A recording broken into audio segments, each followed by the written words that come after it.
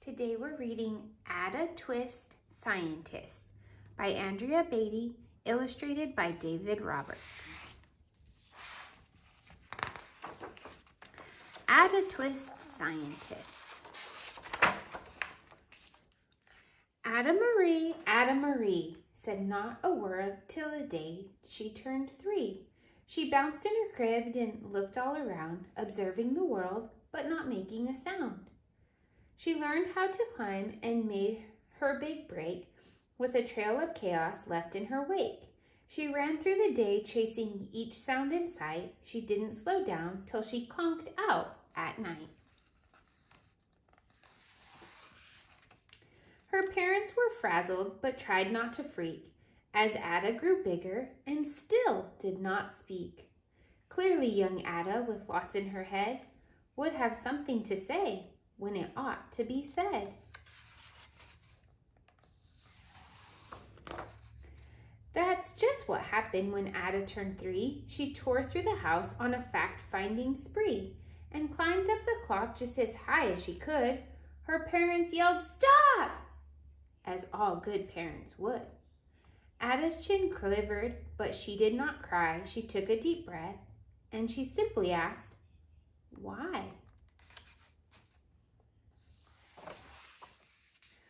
Why does it tick and why does it talk? Why do we call it a why don't we call it a granddaughter clock?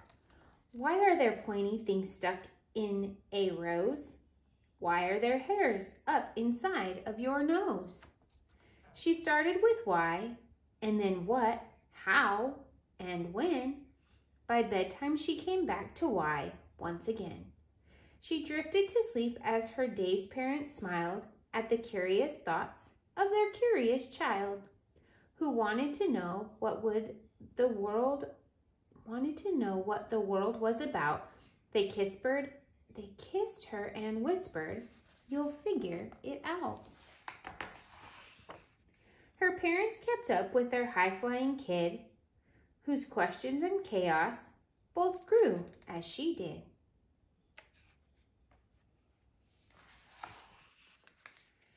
Even Miss Greer found her hands were quite full when young Ada's chaos wreaked havoc at school.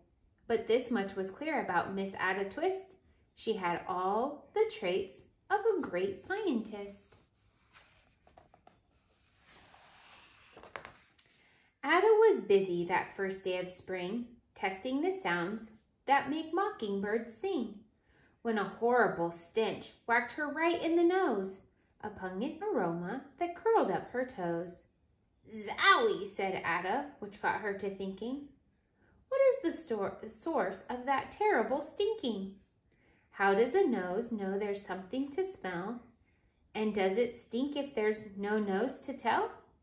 She rattled off questions and tapped at her chin. She started at the start where she ought to begin. A mystery, a riddle, a puzzle, a quest. This was the moment that Ada loved best. Ada did research to learn all she could of smelling and smells, both the stinky and good. One hypothesis Ada thought could be true, the terrible stink came from Dad's cabbage stew. She tested and tested, but soon Ada knew it was time to come up with hypothesis two. Then zowie, the stink struck again, just like that. Hypothesis two, it caused by the cat. The cat couldn't make such a stink on its own. It needed perfume and some fancy cologne. So young Ada Twist, the test was a flop. She started again, but her parents yelled, stop! Can you wash the cat in the washing machine? Ada Marie, Ada Marie, to the thinking chair now, by the time we count to three. Enough, said her mother. That's it, said her dad. Her parents were frustrated, frazzled, and mad. Why? Ada questioned. Her mother said, no. What? Ada inquired. Her father said, go. You've ruined our supper. You've made the cat stink. Enough with your questions. Now sit there and think. She looked at her parents. Her heart turned to goo.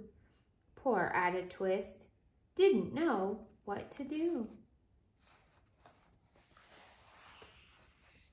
She sat all alone by herself in the hall, and Ada, once more, could say nothing at all. And so Ada sat, and she sat, and she sat, and she thought about science and Stew and the cat, and how her experiments made such a big mess. Does it have to be so? Is that part of success? Are messes a problem? And while she was thinking, what was the source of that terrible stinking? Ada Marie did what scientists do. She asked a small question, and then she asked two. And each of those led her to three questions more, and some of those questions resulted in four.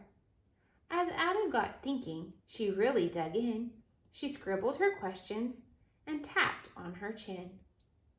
She start, started at why, and then what, how, and when. At the end of the hall, she reached why once again. Her parents calmed down and they came back to talk. They looked at the hallway and just had to gawk. No patch of bare paint could be seen on the wall. The thinking chair now was the great thinking wall. They watched their young daughter and sighed as they did. What would they do with this curious kid who wanted to know what the world was about? They smiled and whispered, We'll figure it out. And that's what they did, because that's what you do when your kid has a passion and a heart that is true. They remade their world.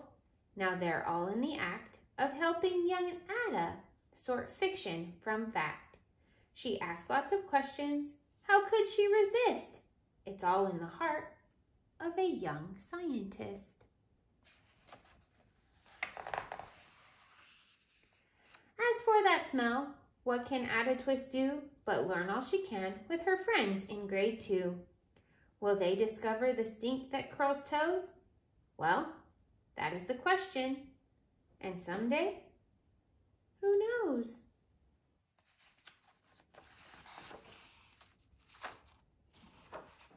I hope that you enjoyed today's story called Ada Twist Scientist. Teachers, I use this book at the beginning of our science unit when we first start in kindergarten.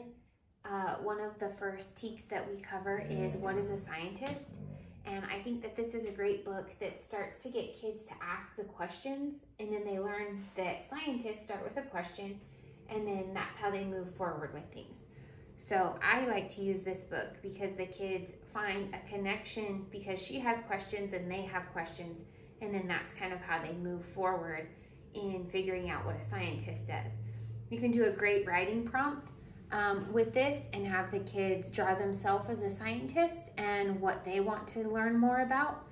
Um, we talk about different things that it doesn't have to be a science thing, that scientists do other things too, that they talk about health and they talk about um, different ways the brain works and all of those kinds of things, and that scientists work on all kinds of things.